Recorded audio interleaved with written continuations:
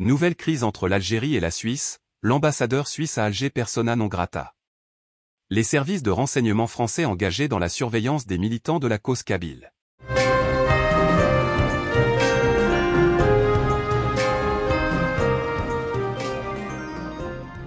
Nouvelle crise entre l'Algérie et la Suisse, l'ambassadeur suisse à Alger persona non grata. Les relations algéro-suisses ont basculé dans une nouvelle crise. Des tensions perdurent entre les deux pays depuis 2018 à 2019 date à laquelle les autorités judiciaires suisses ont décidé de relancer la procédure pénale contre l'ex-ministre de la Défense nationale, Khaled Nezar, qui est poursuivi devant le tribunal pénal de la Confédération suisse pour crimes contre l'humanité. Mais ces tensions viennent de prendre un nouveau tournant en raison de la nomination d'un ambassadeur suisse à Alger qui présente un profil dérangeant aux yeux des autorités algériennes. Pierre-Yves Fuchs, le nouvel ambassadeur suisse à Alger, déplaît effectivement fortement aux autorités algériennes.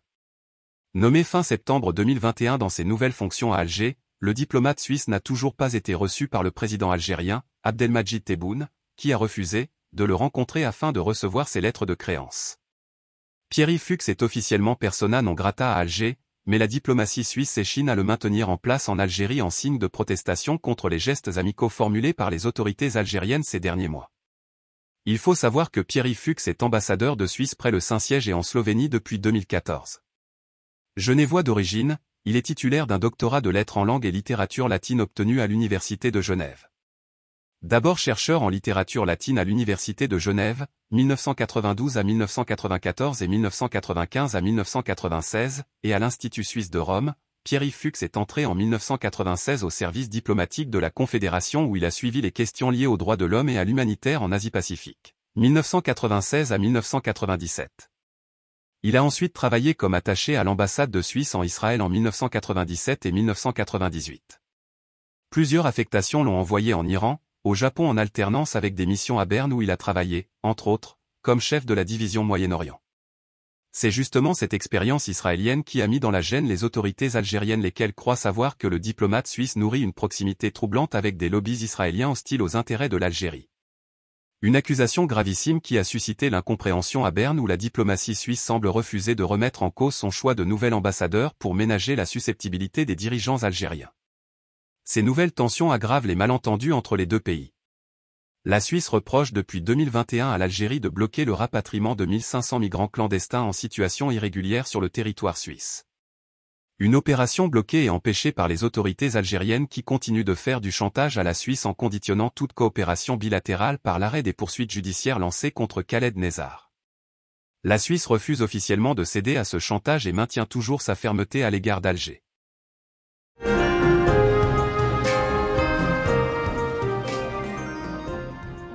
Les services de renseignement français engagés dans la surveillance et le contrôle des militants de la cause kabyle.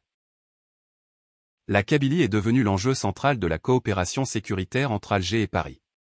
Depuis la réconciliation franco-algérienne actée officiellement lors du dernier voyage à Alger et au rang du président français Emmanuel Macron, les services secrets algériens et français ont validé une nouvelle feuille de route axée essentiellement sur les échanges d'informations et de dossiers concernant la surveillance des militants des mouvements politiques qualifiés de dissidents par les autorités algériennes et activant en Kabylie.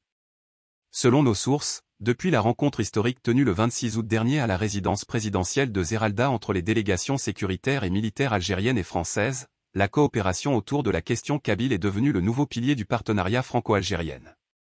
En des termes plus clairs, d'après nos sources, les services secrets français se sont engagés auprès de leurs interlocuteurs algériens à leur fournir toutes les informations nécessaires sur les mouvements, les actions et les plans préparés par les activistes indépendantistes kabyles exilés en France.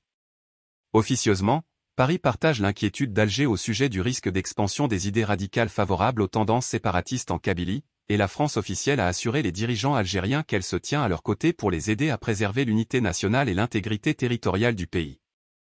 La France a assuré qu'elle ne souhaite ni la division ni encore moins l'instabilité politique ou sécuritaire en Kabylie, une région sensible en Algérie.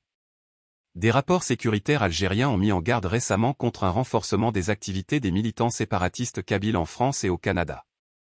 La dureté de la répression pratiquée en Kabylie depuis 2021 et l'emprisonnement de nombreux militants du MAC ainsi que des autres tendances autonomistes a produit un effet boomerang et renforce le sentiment de sympathie de certains pans de la diaspora kabyle à l'égard des activistes séparatistes considérés de plus en plus comme des martyrs persécutés par le régime algérien. Cette nouvelle configuration inquiète fortement les services secrets algériens qui ont exercé une forte pression sur leurs homologues français pour contrôler et surveiller les actions préparées depuis la France en faveur d'une mobilisation populaire en Kabylie. Avec la dégradation des conditions socio-économiques et l'aggravation de la colère populaire face à la répression brutale menée contre des militants pacifiques, la Kabylie n'est pas à l'abri d'une explosion émeutière qui pourrait compromettre la stabilité du régime algérien. C'est ce scénario cauchemardesque que les dirigeants algériens veulent éviter à tout prix. La France semble partager aussi cette préoccupation. Abonnez-vous à notre chaîne. Cliquez sur la cloche pour rester au courant de l'actualité algérienne.